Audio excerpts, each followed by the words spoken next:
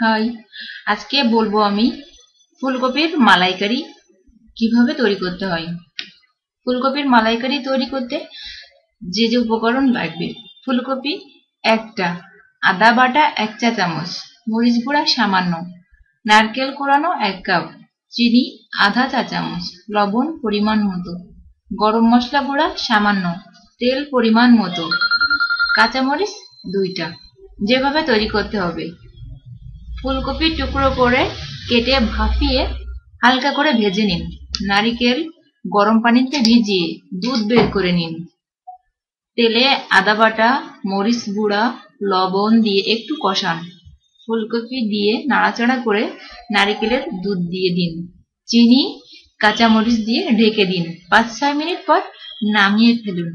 হয়ে গেল আপনার ফুলকপির মালাইকারি।